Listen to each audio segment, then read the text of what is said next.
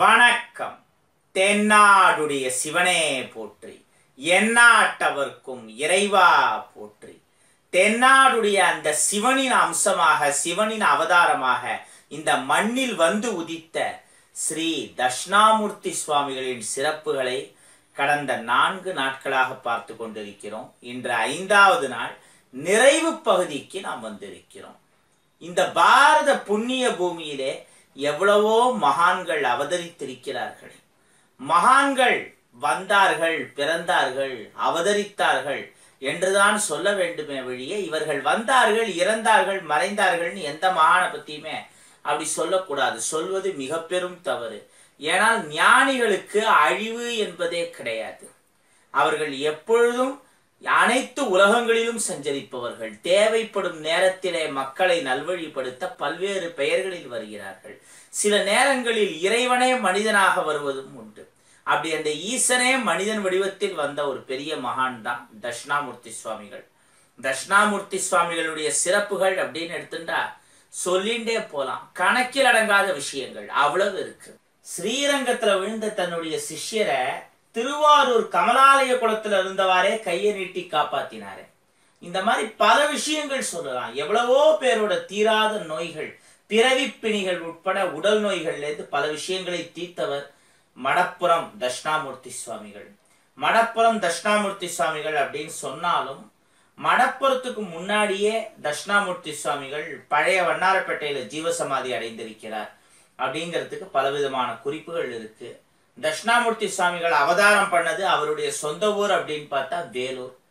மணப்புறத்துல சுவாமிகள் எப்ப ஜீவசமாதி அடைஞ்சார்னா ஆயிரத்தி எட்நூத்தி முப்பத்தி ஐந்தாம் ஆண்டு ஆவணி மாதம் உத்தர நட்சத்திரம் தட்சிணாமூர்த்தி சுவாமிகள் ஜீவசமாதி அடைந்தார்.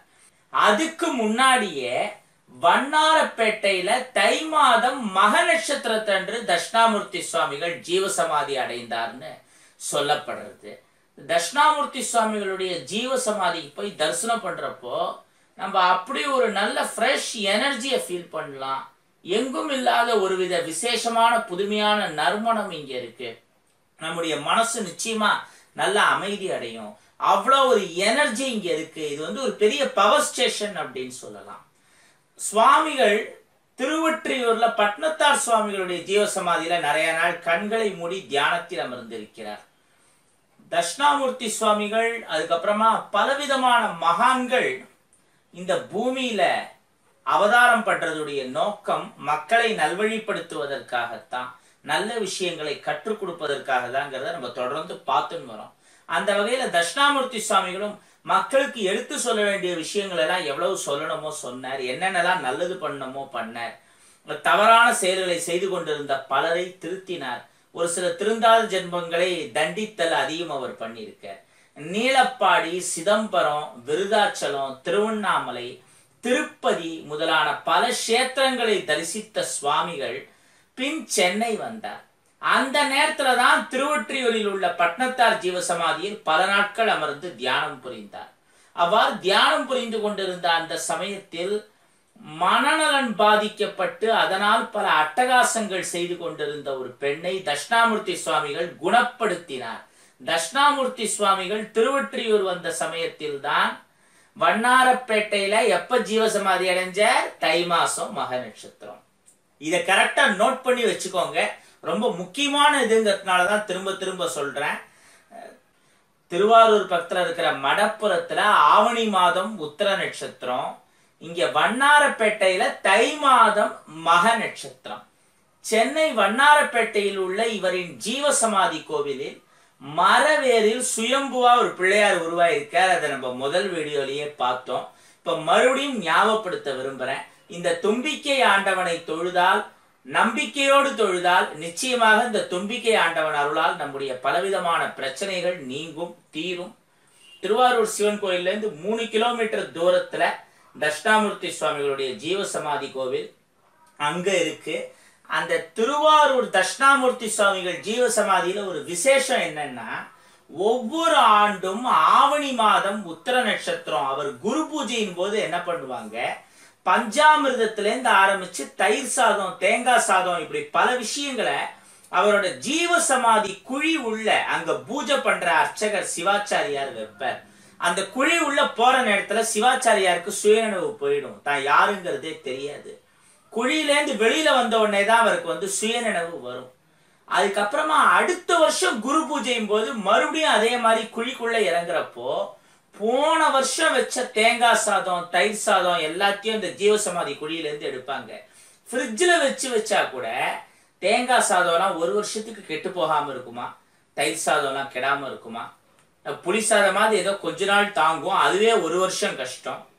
அந்த மாதிரியான பலவிதமான சாதங்கள் எந்தெந்த கலந்து சாதங்கள் எல்லாம் அவரோட ஜீவசமாதி குழியில வச்சாங்களோ அதெல்லாம் எடுப்பாங்க. ஒரு வருஷமாயும் அப்படியே அந்த உணவெல்லாம் ஃப்ரெஷ்ஷா இருக்கும். அதை சாப்பிட்றவங்களுக்கு பலவிதமான நோய்கள் உடம்புல தீரும். அது மட்டும் இல்ல பல வருஷம் குழந்தை இல்லாம இருக்கிற தம்பதியினர் அதை சாப்பிட்டாங்கன்னா சத்தியமாக குழந்தை பிறக்கும். ஆனா அந்த பிரசாதத்தை வாங்கி சாப்பிடறதுக்கு நீ நானும் போட்டி வரும்.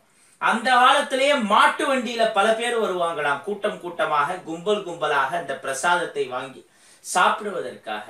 மடப்புறத்துக்கு முன்னாடியே வண்ணாரப்பேட்டையில தட்சிணாமூர்த்தி சுவாமிகள் ஜீவசமாதி அடைந்திருந்தாலும் அருணாச்சலம்ங்கிற அவருடைய பேரு தட்சிணாமூர்த்தின்னு மாறியது வந்து திருவாரூர்ல தான் அதனால திருவாரூருக்கு கொஞ்சம் ஸ்பெஷல் இம்பார்ட்டன்ஸ் அப்படின்னு சொல்லலாம். அதே சமயத்துல எங்கும் நிறை பரபிரம்மம் தட்சிணாமூர்த்தி சுவாமிகள். அங்க ஜீவசமாதி ஆயிருக்கிறவர் தானே இங்கேயும் ஆயிருக்க முடிஞ்சா திருவாரூர் மடப்புறத்துக்கும் நம்ம போய் தரிசனம் பண்ணிட்டு வரலாம் டைம் கிடைக்கிறப்போ.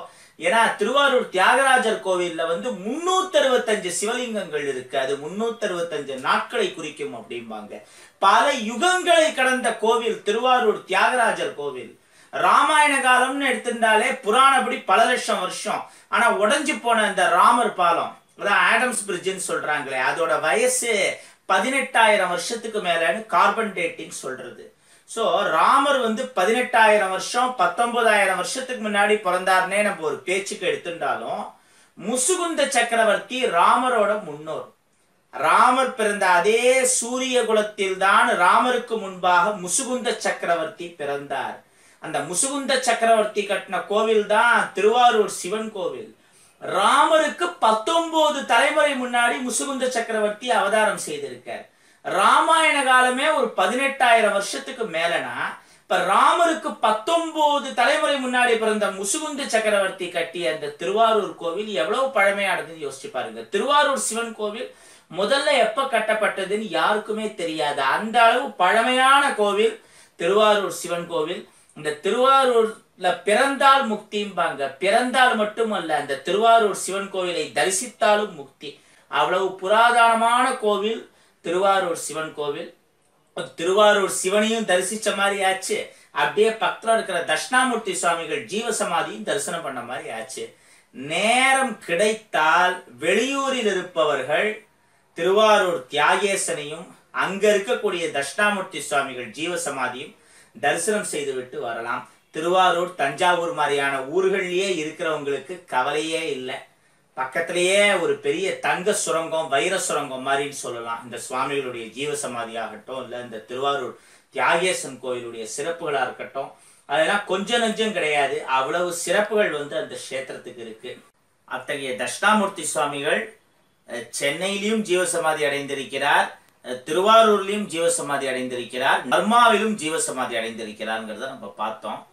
பர்மா போறது பாசிபிள் கிடையாது. ஆனா நினைச்சா திருவாரூர் சென்னையில இருக்கக்கூடிய அவருடைய ஜீவசமாதிய அந்தந்த ஊர்ல இருக்கிறவங்க இல்ல பக்கத்து ஊர் வெளியூர்ல இருக்கிறவங்க தரிசனம் பண்ணலாம். இப்போதைக்கு திருவாரூர் அண்ட் சென்னையில இருக்கக்கூடிய அவரோட ஜீவசமாதி அட்ரஸ் அடியனுக்கு தெரியும். அந்த ரெண்டு இடத்துக்குமே போய் அவரை தரிசனம் பண்ற பாக்கியம்ங்கிறது எனக்கு கிடைச்சிருக்கு.